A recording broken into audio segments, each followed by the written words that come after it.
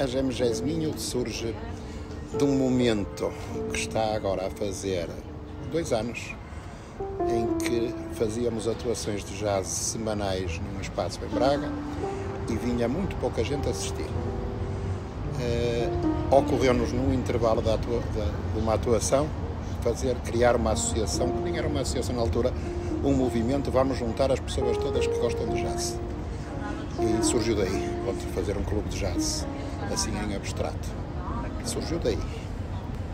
Pronto. Entretanto, isto em agosto desse ano, falámos muito, criámos um grupo no Facebook, um fórum de jazz, onde lançámos a ideia de juntar as pessoas, eventualmente criar uma associação.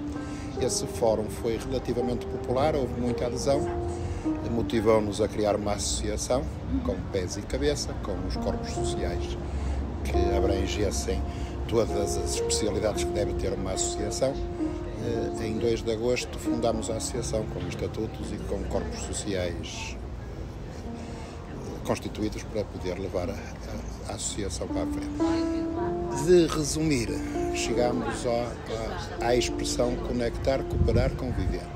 Esse é o nosso lema, só que não é, nós não criamos uma associação a partir do lema, o lema reflete aquilo que nós sentimos em relação ao que percebemos que faria falta para se criar uma comunidade musical e de jazz.